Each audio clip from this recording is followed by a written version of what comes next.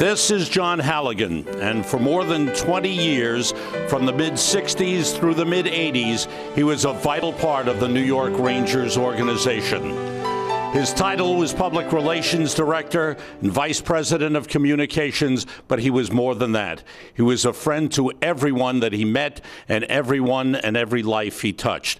He passed away early yesterday morning at his home in New Jersey, and we send our deepest condolences to his wife Janet and the entire Halligan friends and family.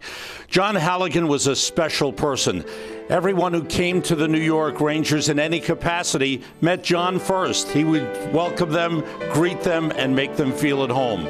He was also an advisor to the coach and general manager, sitting alongside Emile Francis, who called on him for advice and guidance. But John was a great representative of the organization, a great speaker with great wit and humor. Always busy, but he always had time for everyone who called him and spoke with him and needed his advice. And even at times he went on the air as a broadcaster.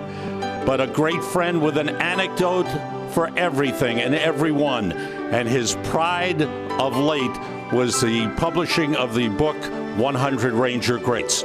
Maybe his greatest moment, his proudest moment, was being awarded the Lester Patrick Trophy for his service to hockey in the United States.